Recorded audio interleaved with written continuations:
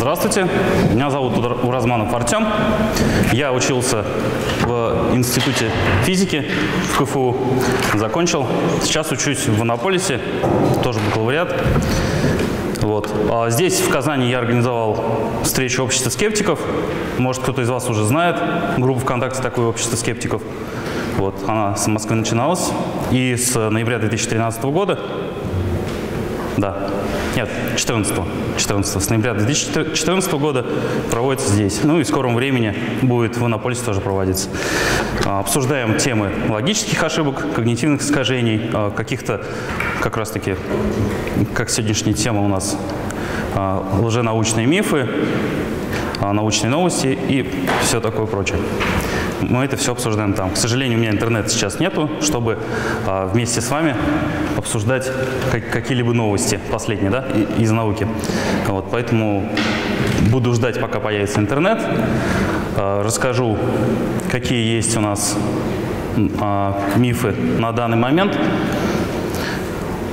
которые приносят уже в настоящее время вред. Ну, на слуху, я думаю, все знают как сегодня у нас э, разговор состоялся про противников ГМО, антипрививочников и прочих. Значит, кто знает, в чем вред антигмошников?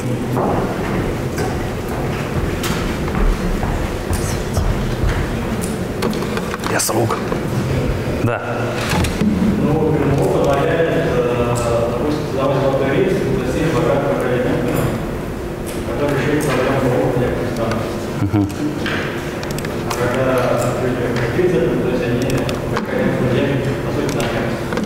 Ну, против прогресса, в общем, выступают. То есть геном... Все же знают, что такое ГМО, да? Кто не знает, руку тоже поднимите, скажем.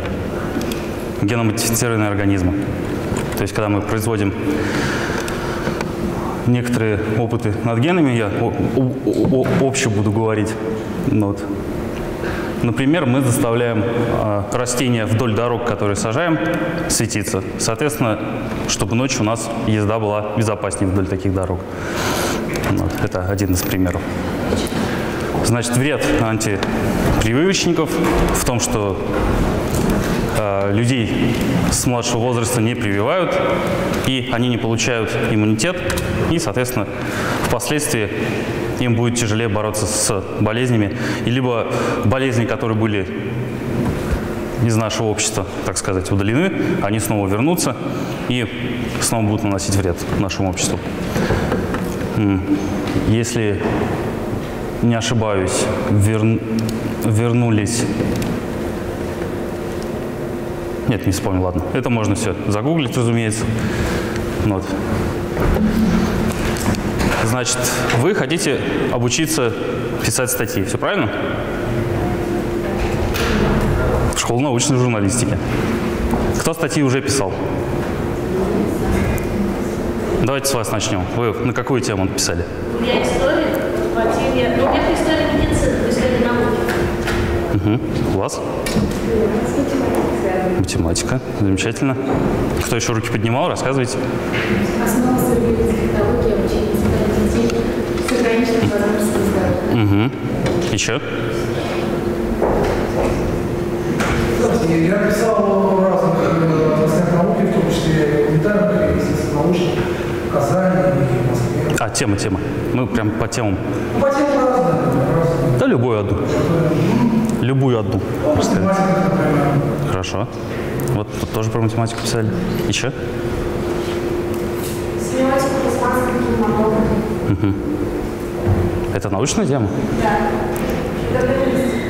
Лингвистика. Хорошо. Еще?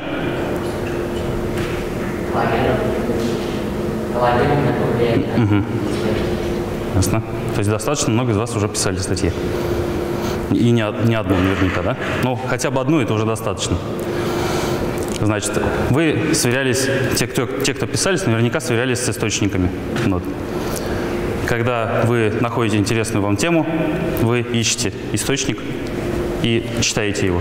А если вы обычный читатель, как вот быть? Я бы сейчас новость открыл какую-нибудь и прям по ней, можно сказать, практикум про- провел бы по новости, как пройтись до первого источника, найти, где что нужно прочитать в данном тексте. То есть, если там идут методы, нужно прочитать методы. Если у вас э, вопросы относительно каких-то методов есть, может, вы будете первым человеком, который в какой-то статье обнаружит несостыковки, даже в научной статье. Не то, что в научно-популярной статье, то есть когда человек берет и ее популяризирует. Первое, что сделают, это переведут. Ну, сами понимаете, большинство статей идут на английском языке, поэтому первое, что делает научный журналист, он ее переводит. Появляются первые ошибки. Это ошибки перевода. Вторые ошибки – это ошибки, связанные с тем, что когда человек пишет, ему ну, волей-неволей хочется какую-то от себя все равно добавить. Ну, поэтому, чтобы не допускать такие ошибки, вам нужно понимать, как у вас в голове устроено более-менее да, ваше мышление, чтобы не думать, что «М, я сейчас сошлюсь на авторитет, это прокатит, и все замечательно будет. Ну, нет. Такое редко когда прокатывает, может, вы там скажете, что «А вы знаете, там Марков сказал, Панчин сказал. Ну, если вы скажете, где конкретно сказал, да, это будет замечательно. Если просто скажете, может, он такого вообще не говорил, вам показалось. То есть отсылка к авторитету и отсылка ложная даже может быть. Вот. Чтобы у вас не возникали такие логические ошибки и когнитивные искажения в вашей голове, Здесь вот сайт, вы его не видите, но он есть. вот. А, в общем, есть сайт uh, Rational Wiki. Очень рекомендую вам для прочтения ознакомиться со списком логических ошибок, чтобы их всех знать. Рацио Вики.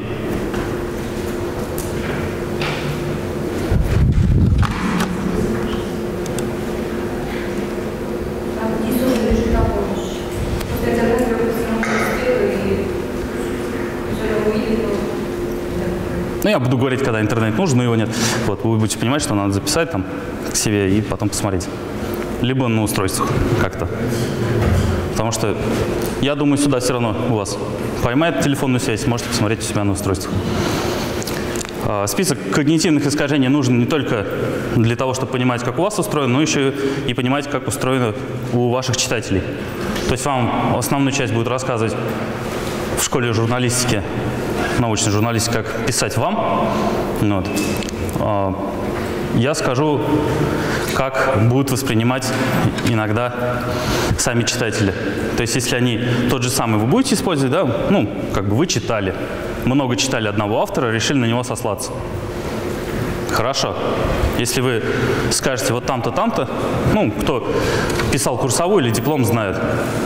Квадратные скобки такие, квадратные скобки, и в них указывается какой источник в конце списка литературы. Так пишутся отличные научные работы с отсылками на другие работы, и в текст у вас вплетается это все. Если вы цитируете, и если вы в блоге или какой-то статье, ну, разумеется, вы в интернете, да, будете все это размещать, ссылки, куда нужно посмотреть. Ну, разумеется, ссылки должны быть рабочие. Не должно быть такого, что вы куда-то сослались, а там ничего нету. Ну, человек, значит, туда пройдет и сможет удостоверить, что все правильно. Это главное.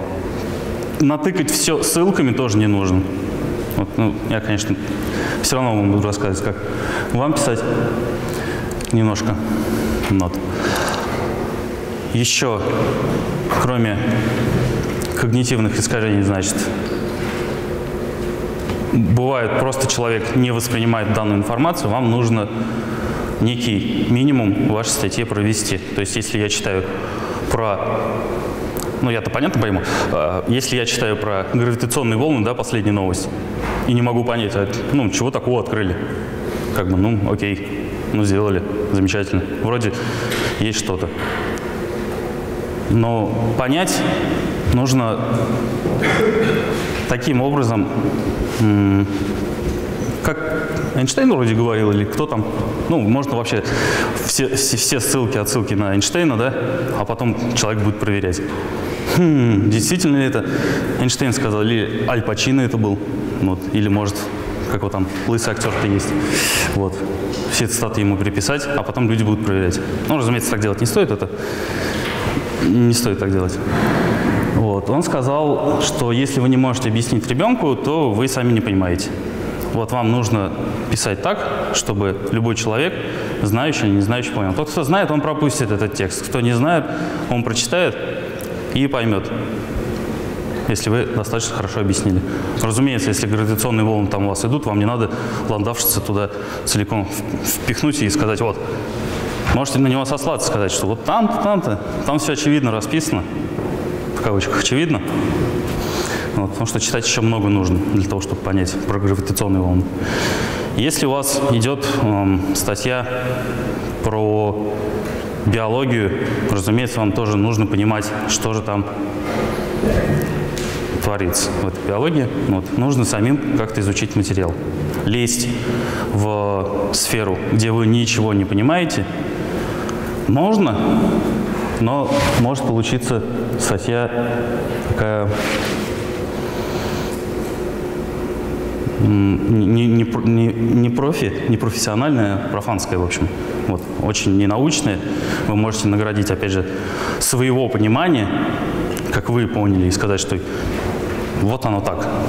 А на самом деле не так. Вам нужно объяснить все это с позиции того, как наука расписывает, а не как вы понимаете. Все субъективное нужно отодвигать в сторону и смотреть, а, было ли что-то доказано. Мнение здесь особо не нужно выдвигать.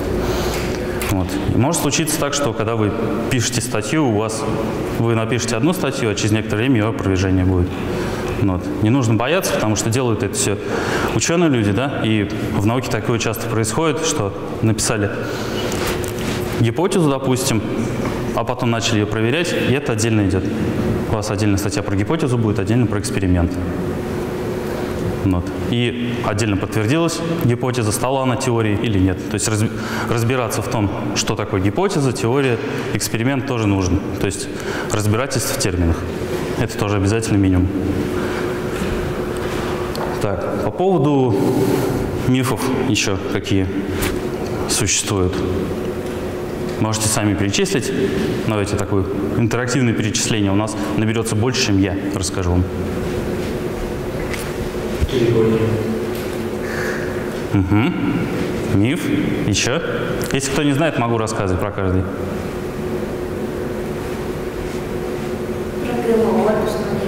А, вы чуть-чуть опоздали, мы в самом начале сказали, да? ГМО, антипрививочники. Вечно существует. Да ладно. Я думал, существует. А может, не миф?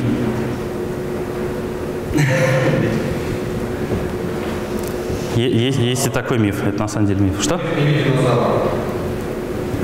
Еще раз. Внешний вид динозавров? Что они выглядят. Как ящерицы? Ну, в смысле, корпус, остатки кожи, может, они были такие, были некоторые. То есть внешний вид Вы считаете это псевдонаучным мифом? Вы считаете это псевдонаучным мифом? Мы перечисляем сейчас. Я считаю, что их внешний вид мог быть не только таким, как иногда нарисованы или изображены там. То есть то, как демонстрируют их нам. Да. Ну, именно вот не скелет, а внешний вид. Мгм. Скелет у нас есть, а фотографий нету. А, вопрос тот еще.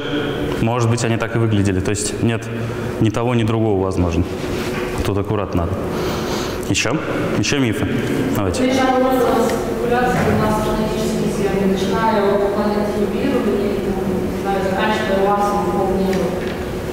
А, это. Мгм. Все расслышали, да? Про планету, которая находится по ту сторону от Солнца, которая никак гравитационно не взаимодействует со всей остальной планетарной системой, но при этом будто бы есть. Там, начиная с 19 века этот миф идет. Пытались обнаружить, выдавали некоторые снимки за подтверждение того, что есть. Ну, не снимки, там зарисовки а, в то время. Вот. И вплоть до нашего времени все это тянется. То есть мы можем проследить, что множество мифов, на самом деле, они ну, не знаю, скажем так, с средневековья тянутся, и а, несмотря на опровержение, которое наука выдвигает, они все равно остаются и какой-то, не знаю, новый сок приобретают и рассматриваются заново. Вот. И я сегодня хотел вам включить недавнего а, ну, я считаю, что он, ну, на Ютубе появился один а, человек, который создает очень смешные ролики. Вот. а, в общем, забавный товарищ, и он а, про, про алхимию говорит и про гомункула рассказывает. Вот. Может, кто-то уже видел, очень смешной такой ролик. Вот. Я думаю, сейчас продажи рус- русско-китайского словаря очень подрастут, и очень много будет продаваться. Вот. То есть товарищ, мне кажется, он специально народ троллит. То есть потом он, возможно, скажет, ага, смотрите, я известный научный популяризатор, вы видели мои только руки и измененный голос. А тут я, кто популяризацией науки занимается, я вас затроллил, на самом деле вы вот легко ведетесь на всякую такую ахинею. Вот. И расскажет, почему это не так, почему то не так. Вот у него там есть ролик, где он сажает семечко в дерево, оно вырастает, ветка с яблоками, потом эти яблоки ест. Есть самый первый ролик, это у него про то, что он очень быстро выключает и включает лампочку из удлинителя. Удлинитель сам на себя, значит, замыкает, и будто у него энергия бесконечно бежит. Вот. Это самый первый, самый забавный ролик. То есть уже по нему можно понять, что товарищ несет чушь полную. Вот. Фантазия? М. Ну, говорю, может, он троллит. Он, он- фантазия, ну, не знаю. Все это уже давным-давно опровергнуто. Давным-давно доказано, что это не так, что у нас бе- бесконечной энергии быть не может, да, вечных двигателей. Вот, из ниоткуда брать энергию нельзя. У нас всегда есть тепловые потери. Энтропия всегда возрастает. Ну, есть там оговорки кое-какие. При э, вкладывании энер- энергии извне у вас энтропия будет может не возрастать. То есть у вас Солнце, когда питает Землю, у вас возможна организация более сложных структур, например, мозгов. Ну, вот это все благодаря тому, что энергия приливает в систему. Сейчас у нас, наверное, подключится интернет. Будет замечательно.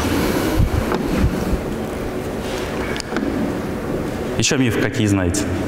Раньше была земля плоская. А потом ее свернули. Ну да, да, да, раньше так было. Сейчас А можно еще смотреть на это, что не только вокруг Солнца все вращается, но и что мы вместе с Солнцем вокруг центра галактики, а центр, а все это вместе вокруг скопления и так далее. Вот я тоже для того, чтобы вам, ну, немножко развивать, да, сейчас, если включите, я вам гифку включу, где как раз показано, как это все несется, или, или видео даже. Еще мифы, еще. У нас сегодня... А? Лунный заговор. Лунный заговор. Американцы не были вовремя. Что мифом является? Что их там нет. Миф, что мир сотворил Бог религиозный вопрос я касаться не буду.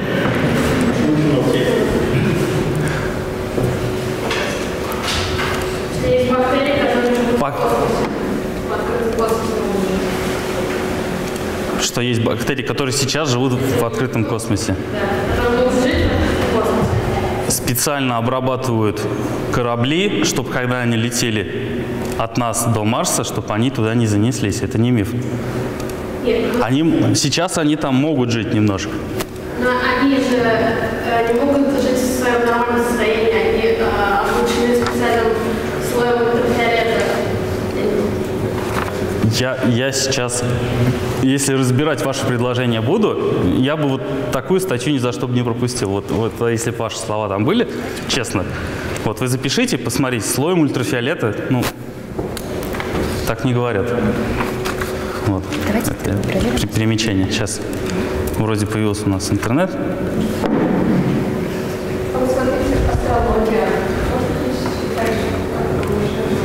А Конечно. Не то что считать, оно есть.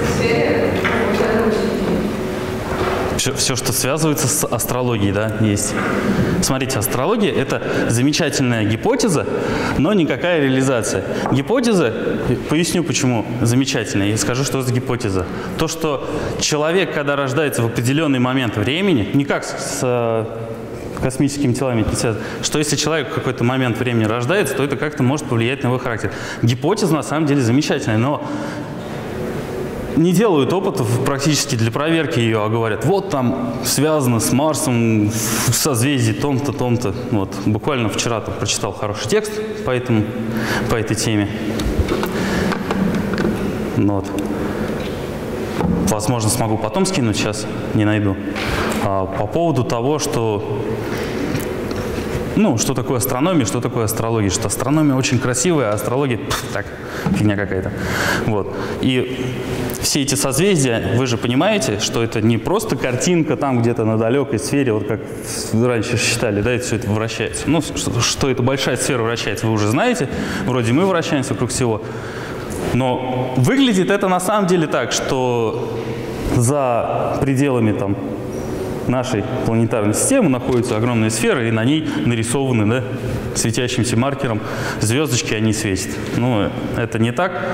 Они все находятся в трехмерном там, пространстве, они друг за дружкой находятся.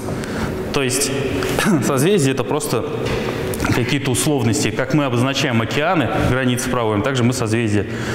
Более-менее какие-то паттерны углядываем и говорим, М, вот это вроде похоже на медведицу. И так смотришь, как? Как они могли решить, что это похоже на медведицу? Это же, ну вот ковш, да, да, вот, да, вот ковш похож, да, вот это яркая звезда. Но, но это же явно не медведь, а, а это не стрелец, ну, то есть да, да, даже сами э, созвездия, они просто дальняя точка, ближняя точка, ну, то есть вот эта проекция картины дальней в виде точек. Мы думаем, что это вот звезда. Они в разное время зажигались, светили сюда.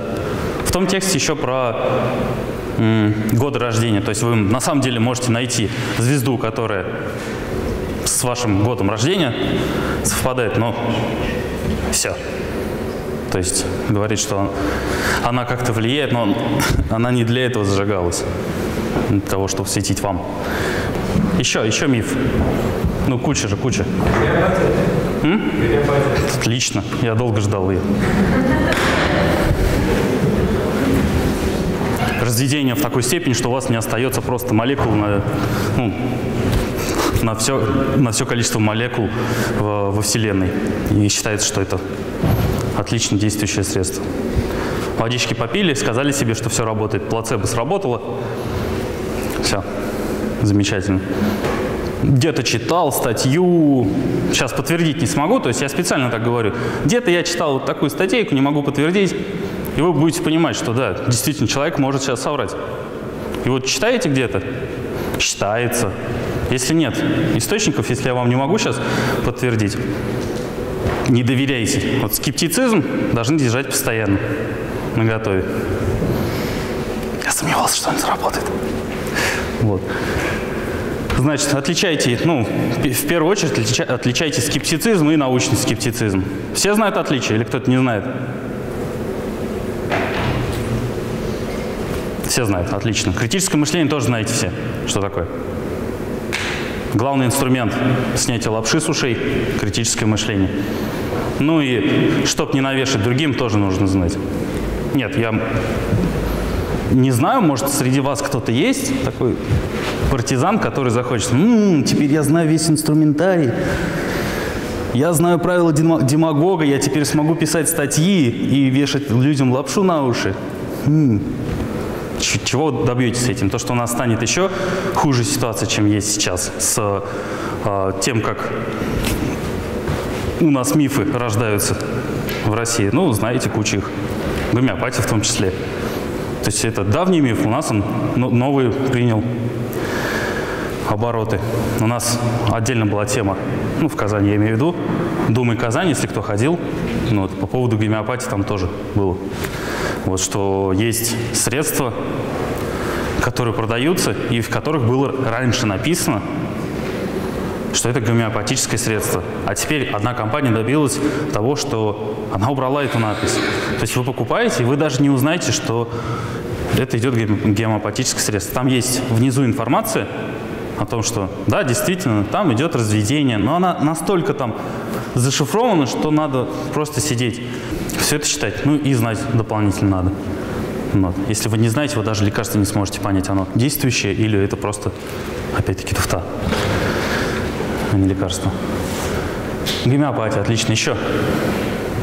А, По России выходила передача «Тайны воды», что такое. М, память воды, замечательно. У нас, у нас даже а, один человек делал на встречах общества скептиков э, эту тему. Вот мы и видео смотрели это. Вот то, что если включить Бетховен или Моцарта, там я не помню, я тоже смотрел. Я на самом деле много вот этой всякой ерунды смотрю, чтобы, ну, во-первых, посмеяться, потому что это весело. Ты такой смотришь, думаешь, а как, как же у людей фантазия, как же у них... Но второе, не смешно на самом деле, что у людей отключено критическое мышление, что они как-то вот не думают. На самом деле сказать, что у человека фантазия, и не сказать, что и, и поэтому он ключ- может отключать критическое мышление. Ну, блин, ребят, ну, творческое мышление, критическое мышление, они бок о бок должны идти, да, переплетаться. Если вы что-то делаете, вы можете на каждом этапе себя спросить, а для этого критическое мышление существует. А к той ли я иду? То есть, если вы что-то сделали, поняли, что это ну, никак не соответствует, вы можете сказать себе это. Если у вас оно отключено, вы просто, «М, ну я натворил что-то. Вот оно есть. Там я нарисовал картину, или я текст написал, или я музыку какую-то сочинил. Да, отличная импровизация есть. Но до того, как вы это сделаете, вы все равно некоторые теории получаете, да, и потом творить начинаете. Вот это если такое творчество рассматривать. Научное творчество, оно тоже в себя включает пере- перепроверку. Ну, сами знаете, еще больше. То есть там все основывается на эксперименте. Если вы э, всякого насочиняли, и думаете, что «М, картина очень красивая, того, как я теперь это все вижу. А если вы это все проверите экспериментом, и у вас эксперимент покажет, что из гипотез, которые вы сделали, предсказания, которые вытекают из них, не соответствуют действительности, все это можно легко отбрасывать. Вот. Возникают, конечно, ну, например, как теория струн, теория суперструн. Ее на практике проверить ну, очень большие энергии нужны. Ну, и как бы вопрос вроде и проверить-то нельзя, и вроде и элегантная такая теория, и вот ее рассматривают, как из нее экспериментальные какие-то а, предположения сделать, чтобы проверить, действительно она работает или нет. Вот. Это по поводу того, проверяемость, непроверяемость. Если в вашей статье, которую вы пишете, да, ну, все время про статью буду говорить, статью, которую я, допустим, читаю, я, я любые источники нахожу, просто захожу в Google, вбиваю интересующую меня тему. У меня, конечно, есть один запрос, и он на самом деле очень сильно помогает. Я с, с вами им делюсь. Сейчас просто текст, я думаю, вы увидите.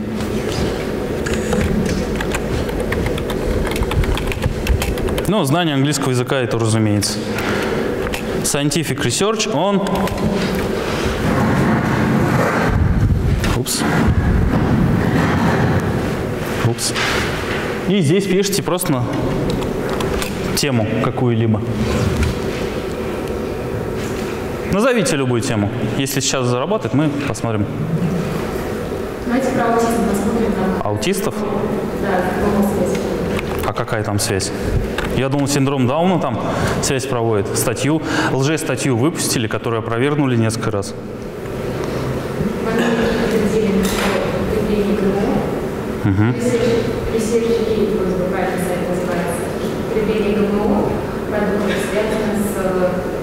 С, ростом популяции детей с ранним детским аутизмом в Америке.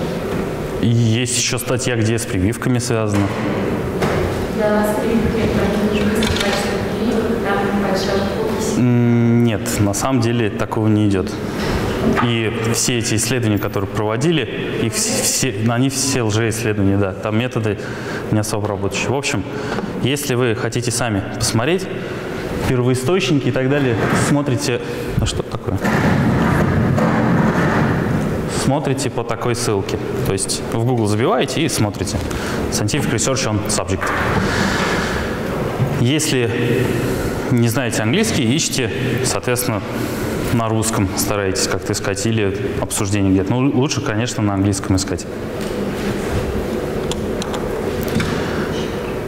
Если вы пишете на английскую статью, английскую же, английскую научную статью на а, науч, как-то не научно-журналистскую, а научно-популярную статью, то тоже супер. Вам не нужно будет ну, особо переводить, у вас не вылезет это, про что я говорил. Бывает такое, что при переводе, когда человек свое что-то вплетает туда, получается иногда из гипотез какие-то подтвержденные данные.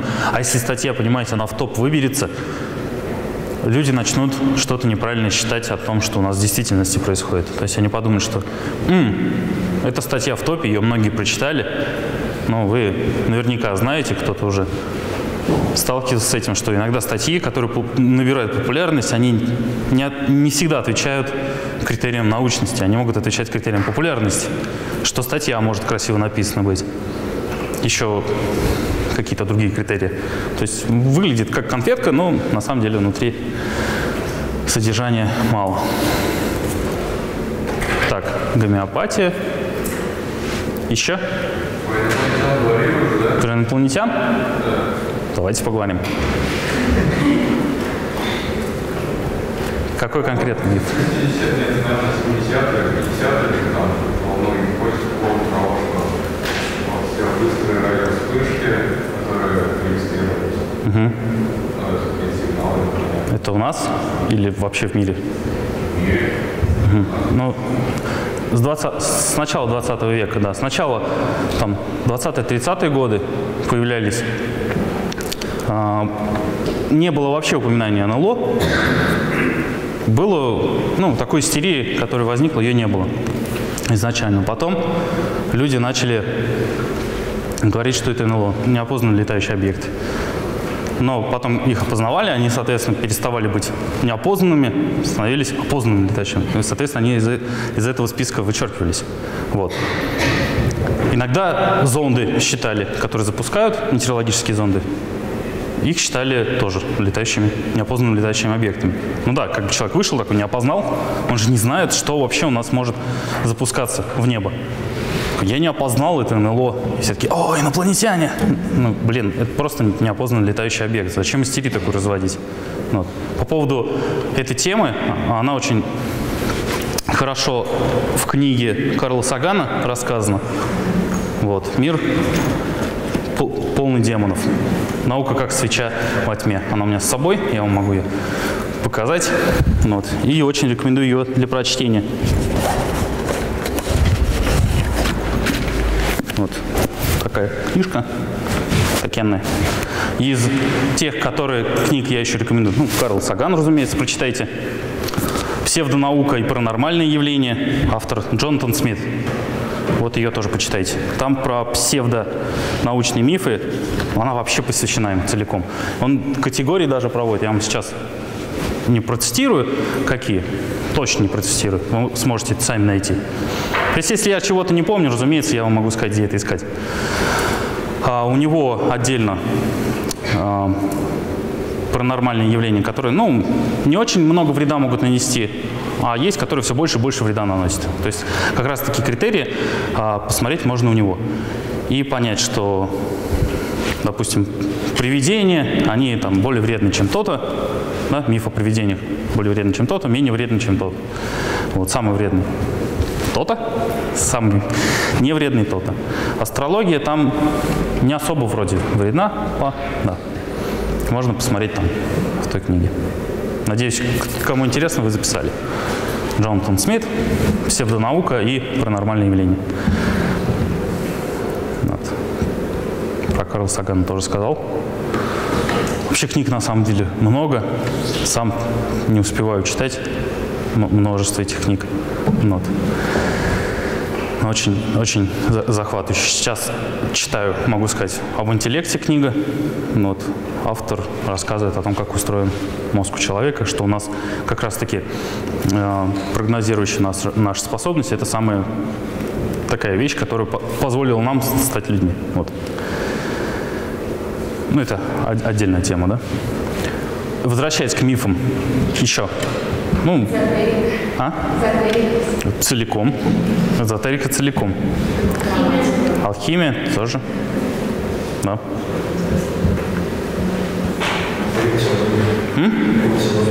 Рептилоиды? В перьях которые. Нам сказали сегодня, что рептилоид у нас с перьями. Чу- чу- чу- чу- чудо в перьях, в общем. Еще? Миф о том, что все пищевые добавки с маркером Е, Ну их же в еду добавляют, они явно вредны. Все, что в еду добавляют, вредно. Химия. Химия, да, сплошная. Это же молекулы, как вы можете их кушать? Смотрите, какие страшные молекулы. Можно еще фотографию привести, там, как в памяти воды, да, вот той же самой. Фотографии того, что если там ругаются рядом, смотрите, какая вода становится. Тоже чушь. Ну, псевдонаучно. Никакой памяти у воды нету. Про ту, которую там говорят. Может быть, там есть какая-то кластерная память, где-то там упоминают про кластерную память. Можете, вот он, задание, да, что же за кластерная память? Вроде сказали, что память воды уже научна, тут же упомянули кластерную. Возьмите, поищите сами, да, не бойтесь вот этого исследования проводить. Находите новость, думаете, хм, они фигню ли мне пытаются сейчас в мою голову протулить? И ищите. Если вам вешают лапшу, может быть, хотят что-то, ну, денежки с вас, да, как-то содрать. Ну Вот. Включаете критическое мышление, начинаете сомневаться. А что здесь написано в данном тексте? Ну Вот. И анализируете.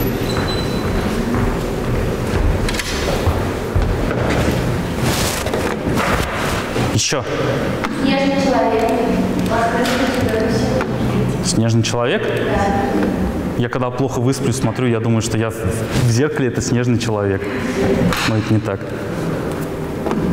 Нету его. Не, мы перечисляем сейчас, вы поймите для чего. Некоторые из вас думают, что, возможно, думают, вот, гла- главное так сказать, да. Возможно, думают, что что-то не миф. А сейчас услышите и подумайте, хм, надо бы зарыться поглубже в интернет, поискать. Здесь самое главное, что у вас одно из самых главных, ладно. Все, Мгм, спасибо. не за что. У нас появился интернет. У вас может появиться, когда ищете какую-то информацию, вы можете искать то, что вашим ожиданиям удовлетворяет. Вы думаете, хм, я ищу, что снежный человек существует. И, и человек, который думает, что он существует, он и будет искать, он будет отсекать, отфильтровывать всю информацию, которая говорит о том, что он не существует. Да не, мне пытаются сказать, что он не существует, потому что им так надо. Вот. Самое важное, что вы тоже должны помнить, да, окей, я избавлюсь от слова «самое», важное, что вы должны помнить, это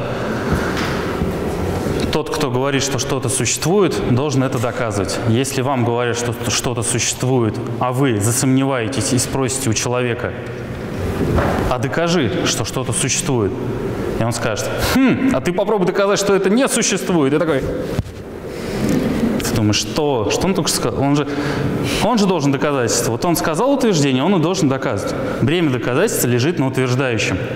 Если вам говорят, что что-то существует, пускай этот человек вам и доказывает. Но, разумеется, не нужно вот этот инструментарий да, применять везде, прям вообще везде, и заменять этим свой здравый смысл. То есть вы же не, не будете говорить человеку, «Хм, нам показали, что интернет есть, ну-ка докажи, что он есть. Может, ты сомнева- сам сомневаешься, что он есть. Покажи, что сайт работает и так далее. То есть, если мне надо, я открою какую-нибудь ссылку. Вот пока, ну, рацию Вики, окей.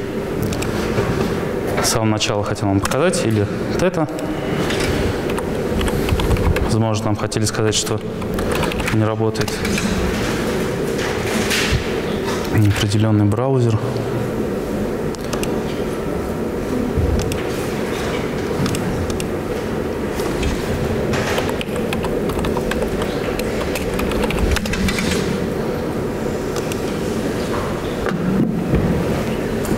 На английском языке, как всегда, побольше. И вот замечательно, есть у нас русский язык.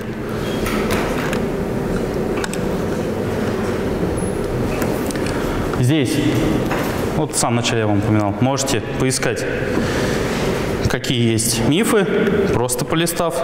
Можно посмотреть, а, значит, из псевдонауки у вас есть список утверждений креационистов, пожалуйста, если кому-то захочется почитать. Про религию фундаментально здесь тоже есть. Меня больше вот это интересует. Логическая ошибка.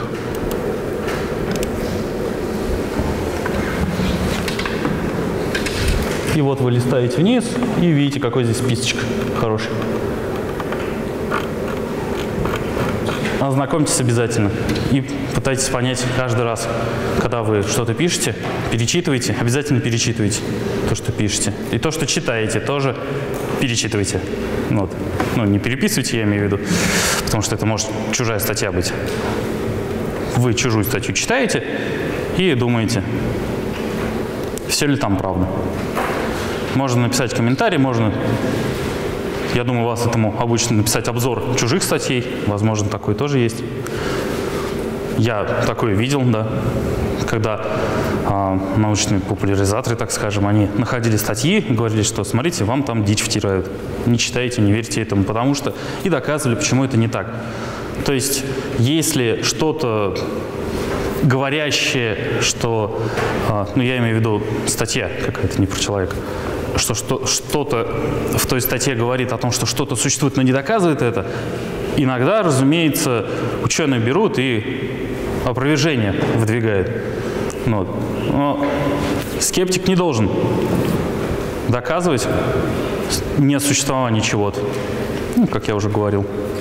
У вас есть, вы тоже можете почитать, нулевая гипотеза о том, что выдвигается, изначально чего-то нету. Чтобы доказать, а, что что-то есть, нужно вот эту нулевую гипотезу опровергнуть, вот, выдвинуть доказательства. Есть видео про оленей, которые не могут летать. Можете посмотреть. Вроде такой запрос, да.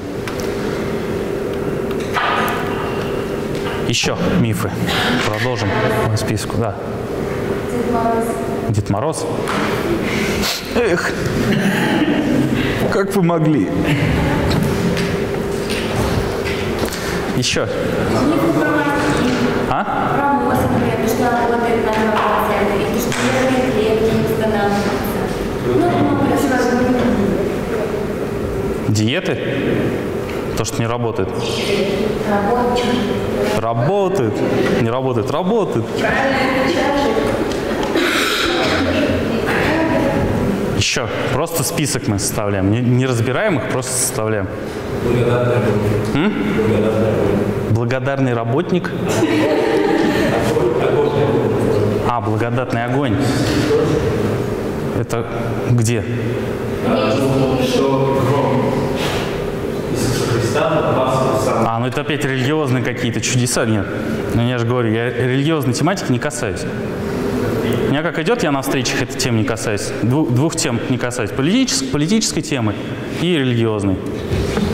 Отдельно я потом могу обсуждать, конечно, но на собраниях я обычно это не иду, потому что люди начинают мнение свое высказывать. Они не хотят обсуждать как раз-таки научную часть, они хотят мнение свое. Я прав. Я обычно спор не веду, обычно. Иногда веду весело, потому что, ну, как бы поспорить с человеком, эмоции как-то выплеснуть друг на друга там. Вот. Выплеснуть эмоции помогает. Вот. А к истине вообще не помогает прийти, если вы не используете аргументы, ну, там прям отдельный термин, ап- аподектическая дискуссия. Это когда аргументы используются, доказательства, вот это вообще супер. Вот. И если вы в своих статьях будете их использовать, аргументы, это тоже будет супер. Еще мифы. Миф. Но они от, от приматов произошли, да, они не от обезьян произошли, да.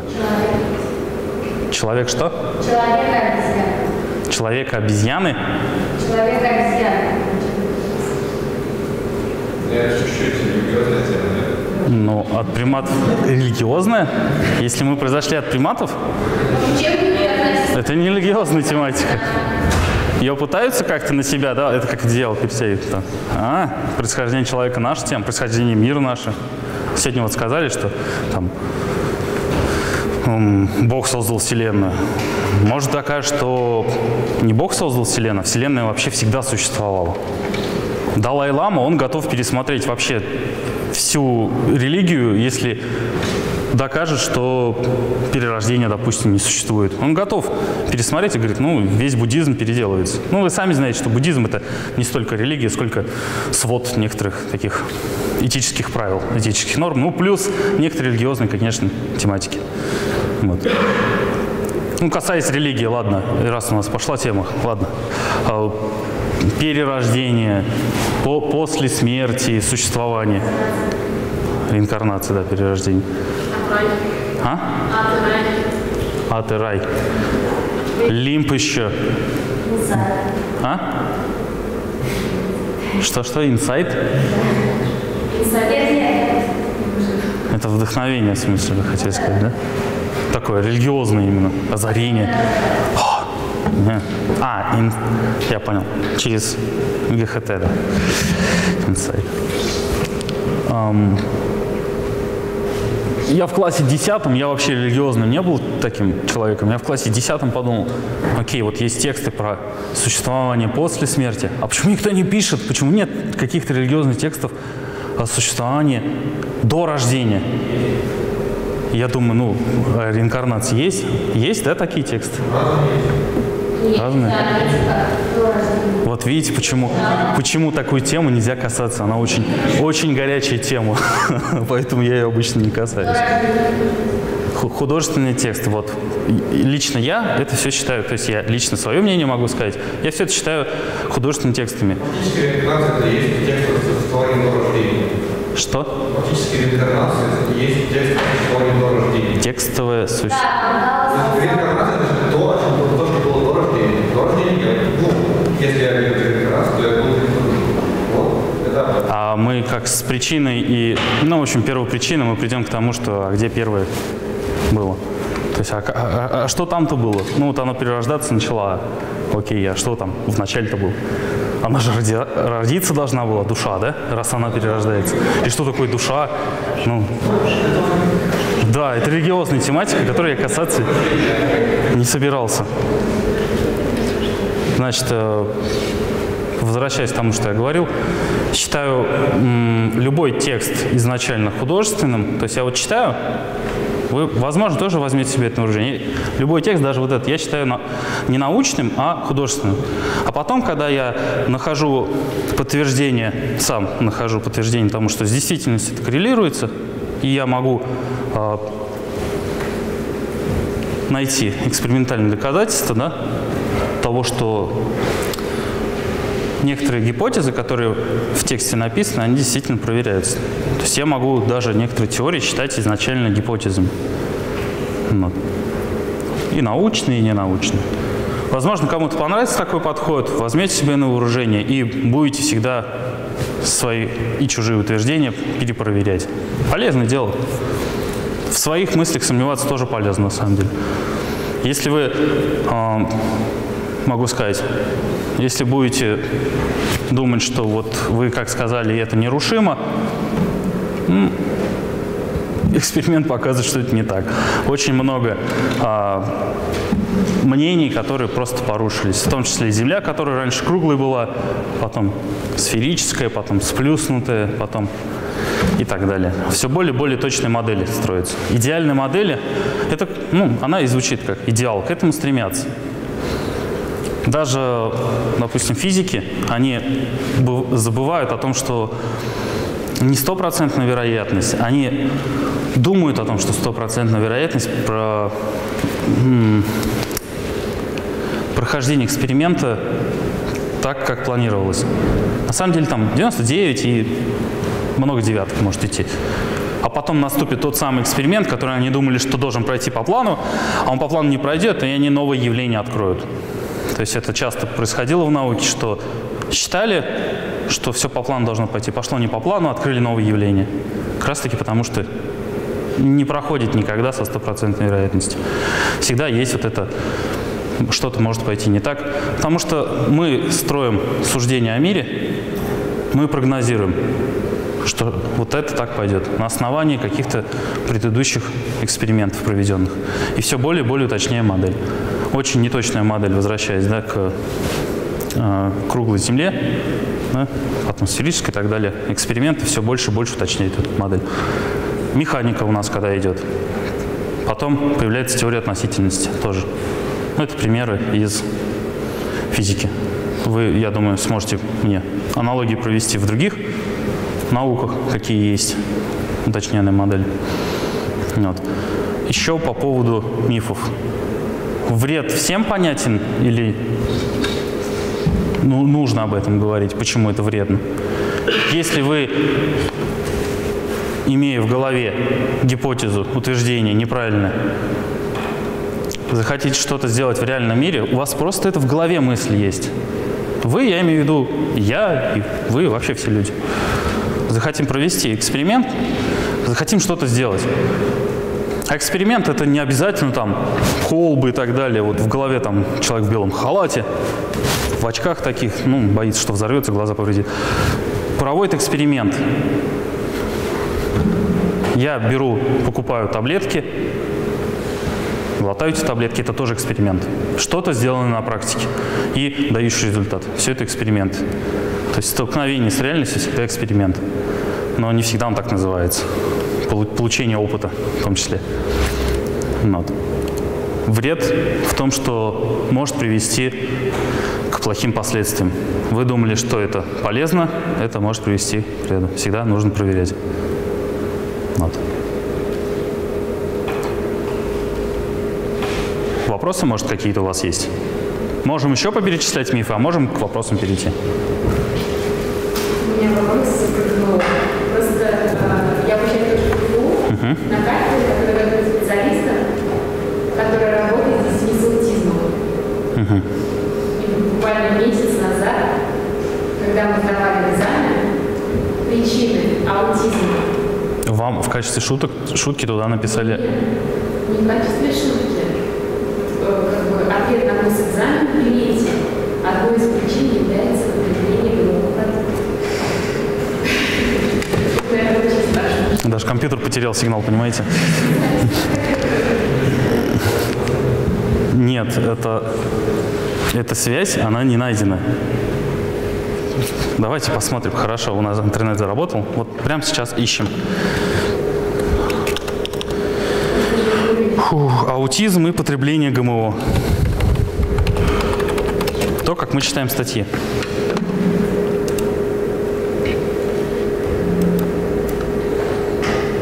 2014 год. В одном месте, ну окей, просто находим, рекламу опускаем, смотрим.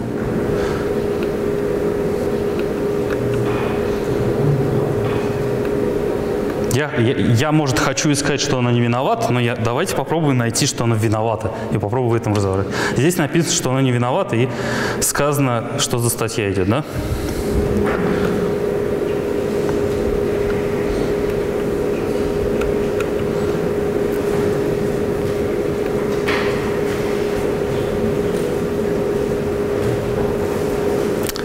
Исходной новости речь шла не о ГМО, а гербициде, хотя и это неверно. Ссылку на оригинальную статью сейчас попробую найти.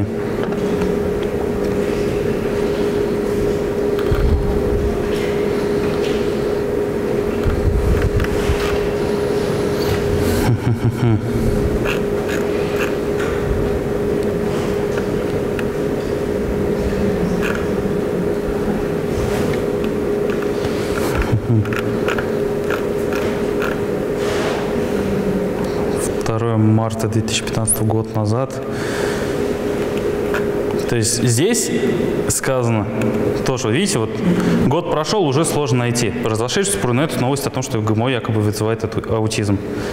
Где теперь искать эту новость? Как раз. Как раз проблема того, как искать, о чем ведется речь. Нет ссылки, вот нет нигде. Здесь явно нет. И здесь тоже нет. Есть собирается советом абсурдной корреляции. Да, кстати. Все, все же знают, да, отличие корреляции и причинно-следственной связи. У вас когда два графика идут, и в одном у вас идет аутизм, а в другом продажа органической еды. Вроде думаете, «М, что-то тут вот картинка как-то вот похожа друг на дружку. Повышение аутизма, повышение продажи, это как-то должно быть связано. Ну Вот. Вот у вас приводится как раз таки сайт, который собирает разные корреляции. Сколько США тратит на науку и количество суицидов. Замечательная корреляция, по-моему. Да. Здесь у нас фильмы, в которых появляется Николас Кейдж, и сколько уто- утопленников а, в бассейне. Пожалуйста, точно. Никакой причинно-следственной связи здесь не наблюдается. То есть просто по графикам расставить точки и увидеть, что они как-то... Но это же может происходить со многими явлениями. Причинно-следственная связь. Когда вы думаете, что у вас у двух явлений причинно-следственная связь, может случиться так, что на самом деле причинно-следственной связи нет, есть корреляция. Да, некоторые совпадения графиков всего лишь. Вот. Может случиться так, что у вас у двух явлений на самом деле есть общая причина, про которую вы не знаете. И они от нее идут, но при этом а, дополнительные факторы могут влиять на то, как поведут себя а, две разных системы да, при одинаковой причине. Вот. И множество других тоже на рацию Вики все это отыскать можно. Продолжаем в нашей статье искать, где нету. А? Вот под этим здесь есть указание. Ну, вот, этот, вот, вот эта часть. За оборотом американский ученый скрывается не группа специалистов по аутизму, а Стефани Сенов. Она работает, ну, то есть в какой-то статье она указана, ее тоже надо искать, да? От нее, значит, история, да, написана была. Предупреждение, половина детей будут аутистами к 2025 году. году. Вот, та самая Стефани Сенов. Здесь у нас указано про безопасность вакцин. Те самые две темы, которые я упомянул в самом начале. Здесь указано, что доктор Сенов не обладает, ну, понятно, слово бэкграунд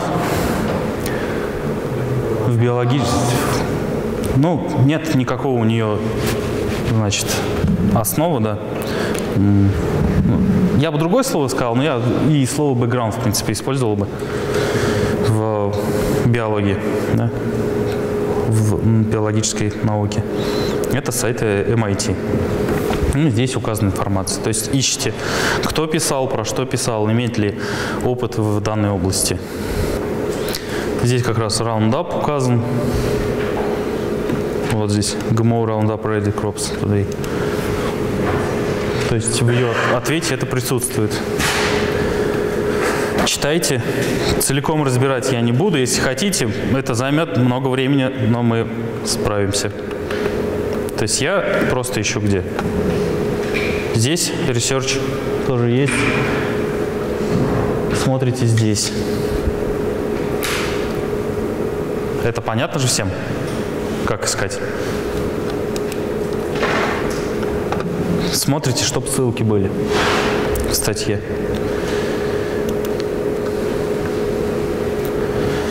Ну, здесь у нас по-русски то же самое было сказать.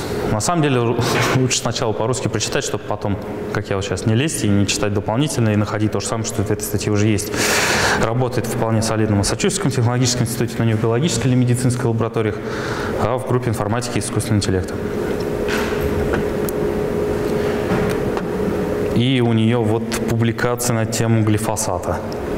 Идет это как раз, если не ошибаюсь, это с раундапом связано. Вот. И возможный механизм действия.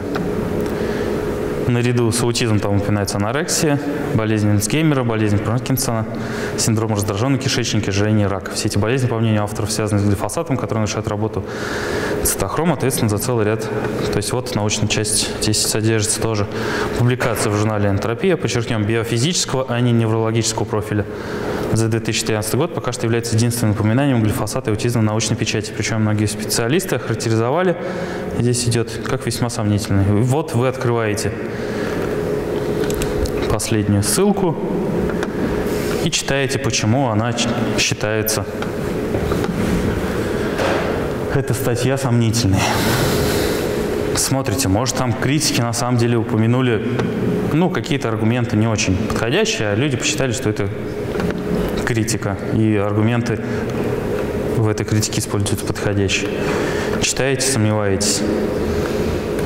То есть рекомендую и при прочтении обычных статей, и при, при- при прочтении критики на научные статьи все равно скептицизм свой не упускать никуда. Вот. Коэффициент корреляции, глифосат и аутизм, и та же самая картинка, вывод. Все это можно здесь почитать. Сейчас найдем. Так, а мы его нашли уже, да? Давайте посмотрим. А, не посмотрим. Вот. Не хотят нам его показывать. Это у нас 2014 год. Если не ошибаюсь, в 2014 году в апреле или в мае, когда там закон о ГМО в России.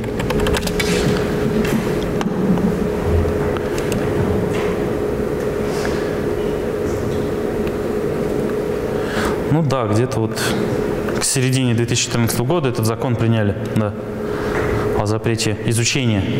Ну, а сам этот момент я не буду обсуждать, его уже много раз обсуждали, кто еще не знаком, то взяли и отодвинули опять-таки нас чуть подальше от прогресса.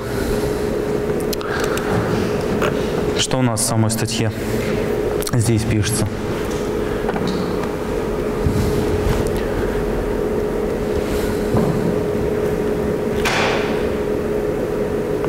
За то время, пока на американских прилавках появлялись помидоры с геном кам- Камбала или лосось с гормоном роста, хозяин магазина здоровой еды в Бруклине Кристофер, Кристофер Икарис сумел вывести собственную формулу малого, но честно убедиться. Вопрос в том, хотите ли вы быть частью этого эксперимента. Если хотите, продолжайте есть то, что вы берете в обычном супермаркете, потому что практически вся еда, которую вы покупаете в США, в США содержит ГМО.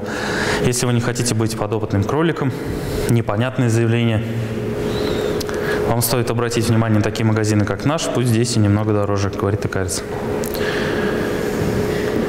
Статистике не упомянуто, где статистика. 9 из 10 американцев хотели бы знать, что на самом деле попадает в их тарелки. Да? Источник не указан. Вот Википедию читаете, там тоже источник не указан. С чего это взяли, непонятно. Движение за обязательной маркировкой ГМО продуктов в переднем краем борьбы, но дальше плакатов буклетов пока мало кто продвинулся. Первый штат, в котором был принят такой закон. Раньше с помощью него Пентагон боролся с растительностью, миллиардные прибыли заглушают сообщения и так далее, и так далее. Последствия такого будущее, которое они себе нарисовали, стопроцентный контроль за оборотом семян в мире. Это про эм, Монсанто, да. Вот. Причем на том же канале России выпустили эм, видео про то, что ГМО не, вредно. Вот. Поэтому можете попытаться найти это видео, потом посмотреть, которое попозже вышло. Вот. Самое странное, что такое видео вообще появилось, это достаточно редкое явление для нашего телевидения. Вот. И когда оно по- появляется, такое научное причем видео, то есть он, он на самом деле аккуратно, автор съездил, поговорил и с учеными, и с э, противником, который здесь вот указан. Вот, Джеффри Смит. Да, он вроде с ним разговаривает там. Вот. Который специально отыскивает везде в магазинах маркировку. ГМО, не ГМО, покупай только без ГМО и так далее. Вот. Такое видео тоже посмотреть. В данной статье про аутизм сказано ровно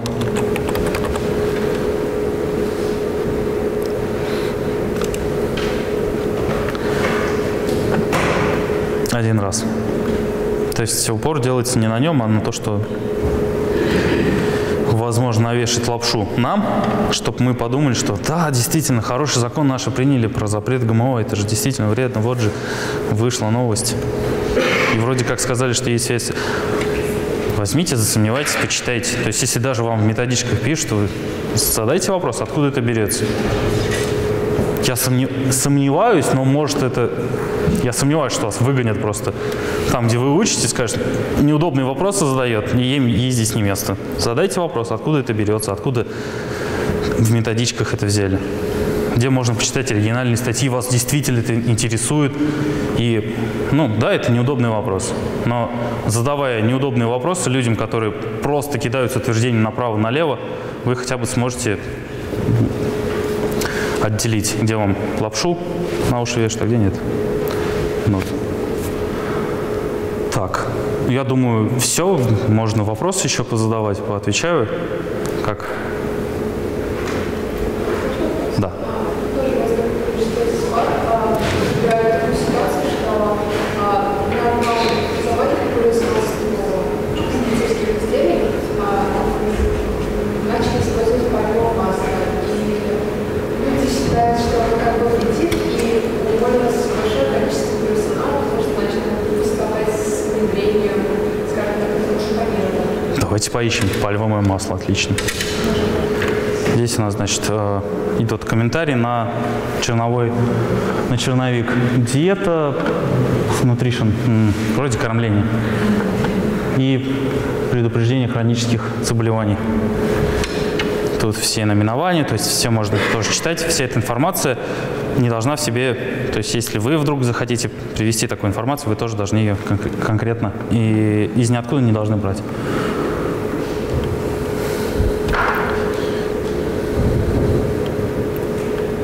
То есть они говорят, вот там есть утверждение на странице 11, главного документа страница 25. Эти два утверждения такие. Пальмовое масло становится основой жирных диет э, на, в Юго-Восточной Азии и, вероятно, останутся главным ресурсом в дальнейшие годы. Эти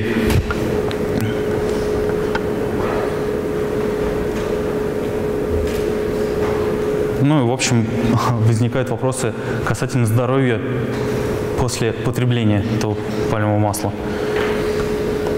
Э, Повышает холестерол и, а, коэффициент, я не знаю, total HDL.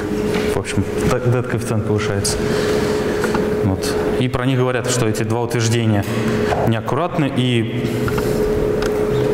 общем, ошибочны. А- аргументы да, направлены против а, гл- глобального глобальной индустрии пального масла. Да.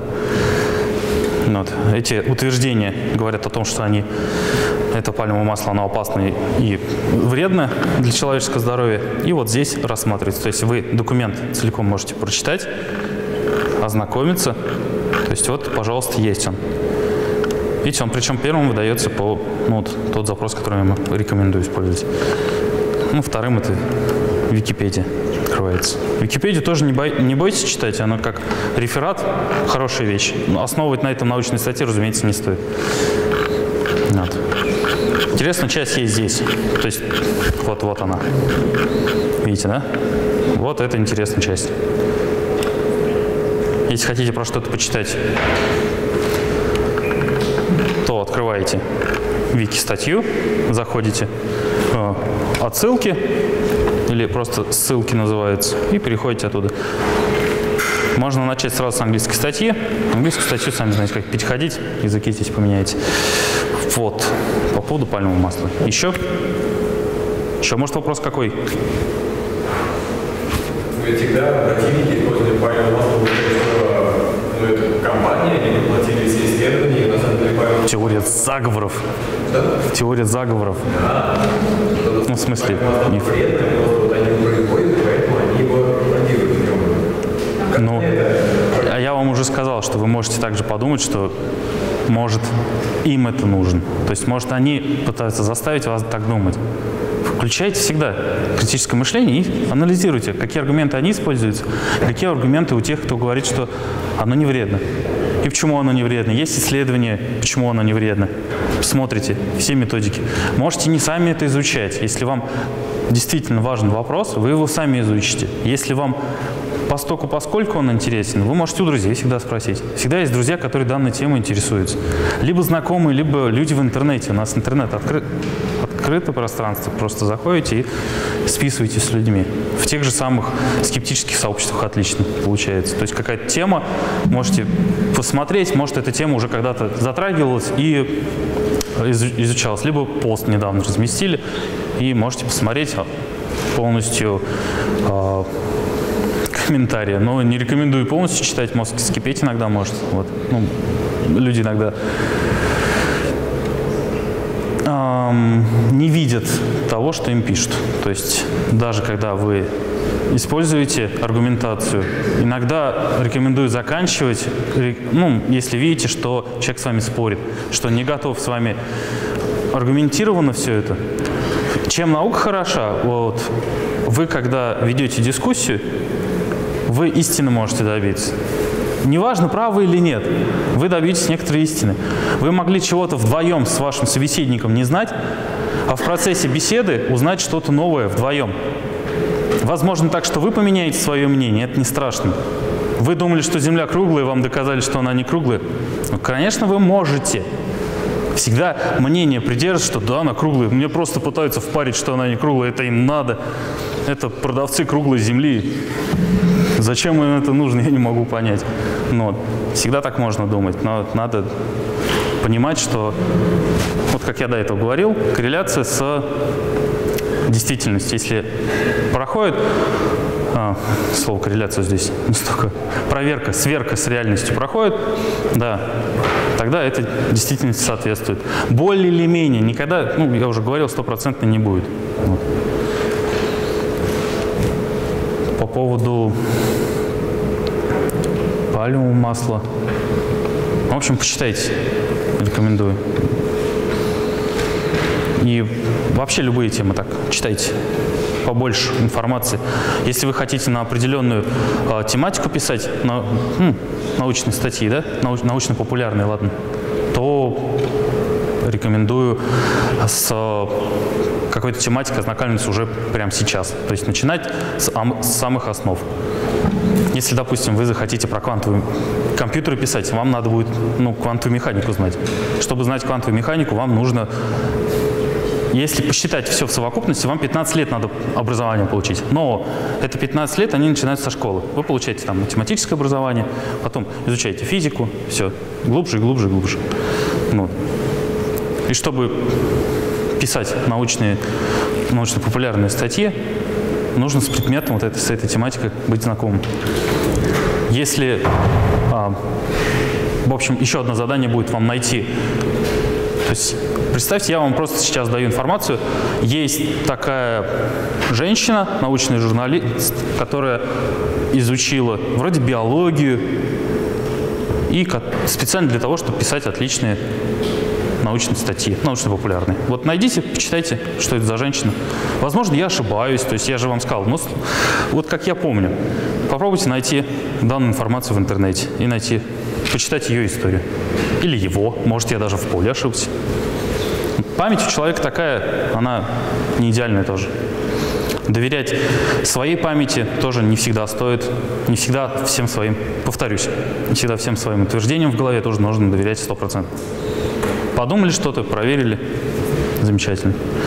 Ну, разумеется, чем больше вы сверяетесь с реальностью, тем там, ну, в более реальном мире вы живете.